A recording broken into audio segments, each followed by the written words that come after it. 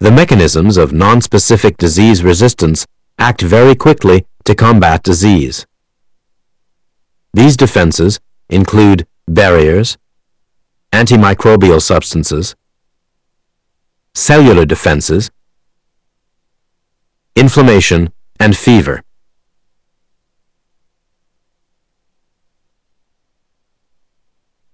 The first line of defense includes both physical and chemical barriers designed to prevent microbes and toxins from entering the body.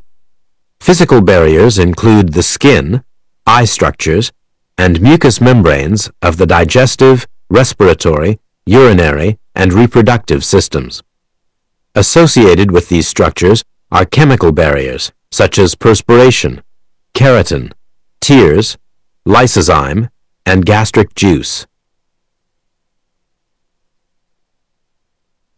The body's major physical barrier to microbes is the skin, consisting of a superficial, thin epidermis and a deeper, thick dermis. An intact epidermis and keratinocytes, the predominant epidermal cells, make it difficult for microbes to penetrate the skin. Keratinocytes produce keratin, a fibrous protein that helps protect the skin and underlying tissues from heat, microbes, and chemicals. Dead keratinocytes make up the most superficial layer of skin. They are continuously shed, taking along with them foreign substances.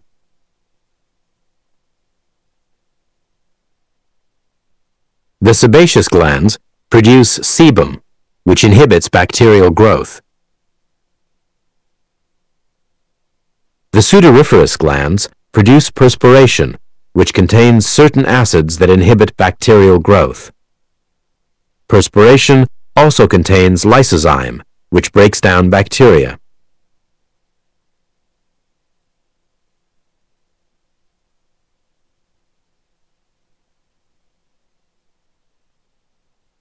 Additional defenses in the skin, macrophages, consume microbes, helping to prevent invasion.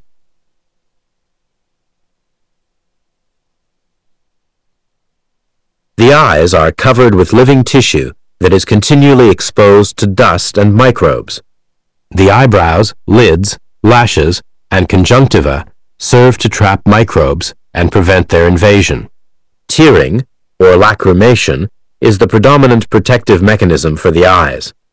Tears contain salts, mucus, and lysozymes, which dilute, wash away, and neutralize potentially irritating substances and bacteria.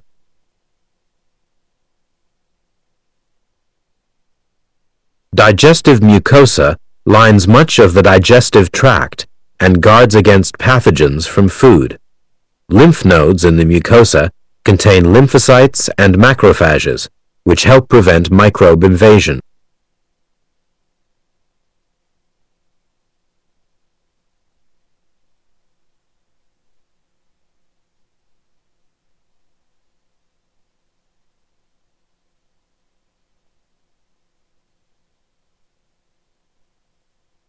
Saliva contains immunoglobulin A, lysozyme, and salivary amylase, making it a very effective antibacterial agent.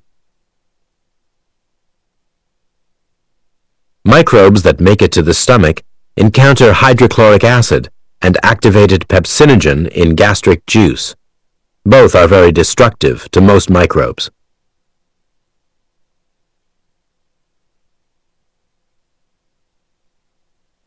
The propulsive movements of peristalsis and defecation may also remove bacterial infections that inhabit the digestive tract.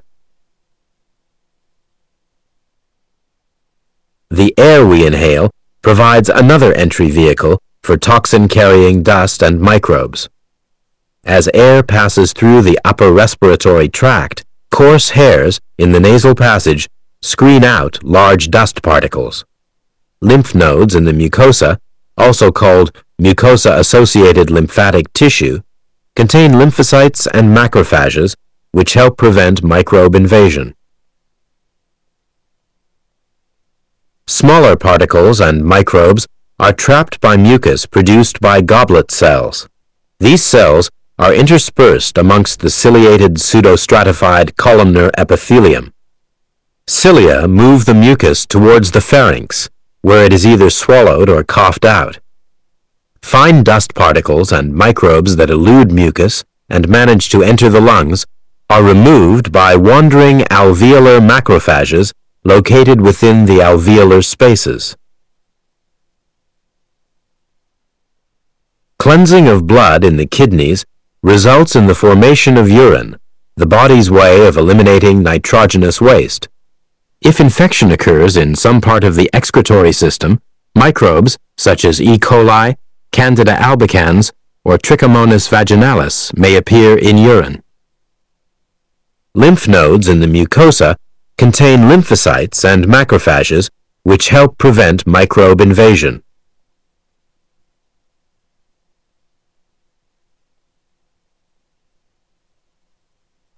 In addition, urine flow and the presence of antimicrobial lysozyme in the urine help prevent microbial colonization. In females, the acidity of vaginal secretions helps prevent microbes from entering the body.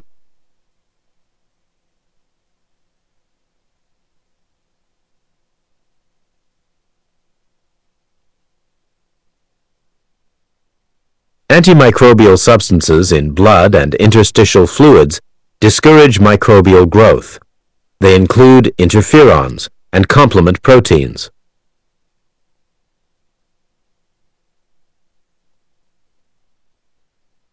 Interferons are produced by lymphocytes infected by a virus. The proteins diffuse into the interstitium and enter non-infected cells. They interfere with viral replication and protect the non-infected cells. Interferons are nonspecific because they act against a large variety of viruses. Complement proteins form a group of inactive plasma proteins called the complement system. When activated, these proteins enhance or complement phagocytosis, inflammation, and cytolysis. Production of the proteins is triggered by the formation of antigen-antibody complexes. During a specific immune response, the protein C1 binds to the antigen-antibody complex. This pathway, known as the classical complement pathway, continues with the cascading formation of proteins C3a, C4a, C5a, C3b, and others. Complement proteins enhance inflammation, which helps tissue resist disease and heal.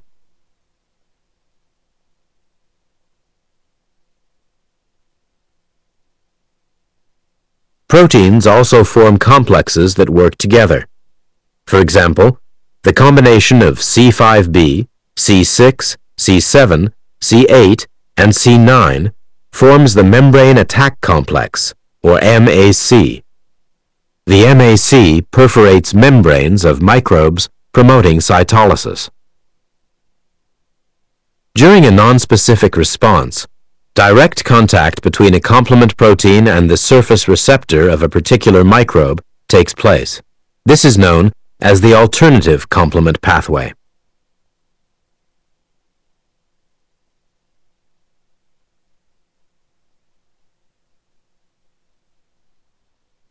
Natural killer cells are lymphocytes that provide a rapid defense against abnormal or virus-infected cells. They are found in the blood, spleen, lymph nodes, and red bone marrow. Natural killer cells do not have receptors for binding with specific antigens. However, they are able to kill tumor or virus-infected cells that display abnormal major histocompatibility antigens. A natural killer cell can destroy a target cell on contact in two ways. First, it produces perforin, a protein that punches holes in the plasma membrane of the target cell. This brings on cytolysis, the bursting of the cell. Second, natural killer cells release chemicals that infiltrate the tumor or virus-infected cell, causing its death.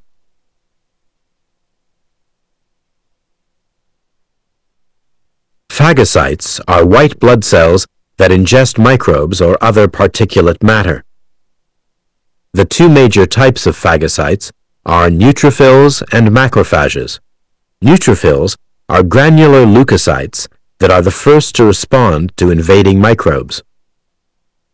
Monocytes quickly follow, transforming into scavenger cells known as wandering macrophages. Phagocytosis is common to both nonspecific and specific defense mechanisms. It operates in a sequential pattern. The pattern begins with chemotaxis. Phagocytes are drawn to a site of infection by migrating towards chemotactic substances such as microbial products, white blood cell components, damaged tissue cells, and activated complement proteins. Next is adherence. A phagocyte makes contact with and adheres to the surface of a microbe. Ingestion, which is also known as endocytosis, follows. The phagocyte extends its cytoplasm around and eventually encloses the microbe in a vesicle known as a phagosome. The fourth step is digestion. The phagosome merges with lysosomes, forming a single, larger phagolysosome. Lysozyme, digestive enzymes, and toxic levels of hydrogen peroxide, hypochlorous acid, and other oxidants break down the microbe's structure. Digestion leads to death of many types of microbes. The process concludes with exocytosis. Material that is left over is eventually eliminated by exocytosis. Not all ingested microbes are destroyed by phagocytosis. Some fight back by producing toxins, or multiplying, or simply remaining dormant for months or years. The inflammatory response, provoked by infection or tissue damage, can occur anywhere in the body. It is most commonly recognized as redness and swelling on the skin. Inflammation provides early protection by confining the pathogens to the site of infection or trauma. Inflammation also promotes repair of damaged tissues. The mechanism of inflammation occurs in three stages. The first stage of the inflammatory response, vasodilation, and increased blood capillary permeability, is triggered by histamine, released by mast cells and basophils. An increased amount of blood flowing to the area produces redness, heat, swelling, and irritation. In the second stage, neutrophils emigrate to the area, lured by substances released by damaged cells.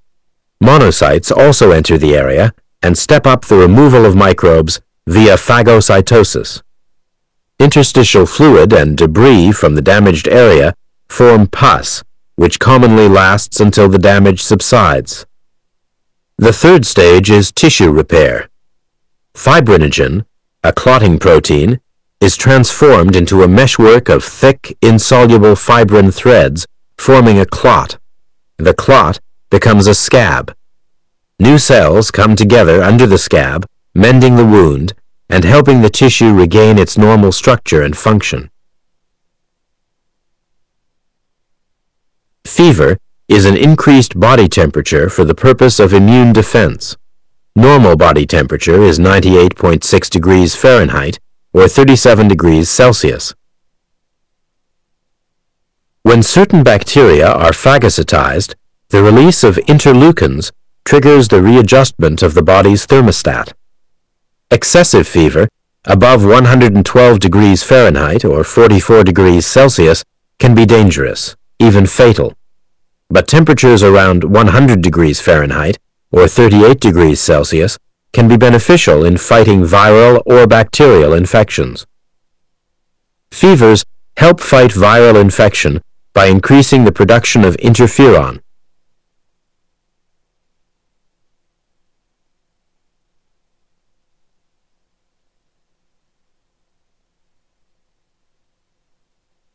Fever also inhibits infection by damaging bacterial enzymes.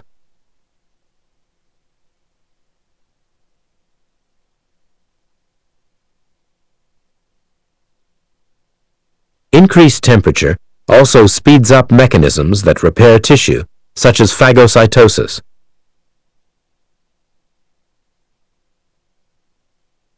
When the damage dissipates, the body's thermostat is reset to normal.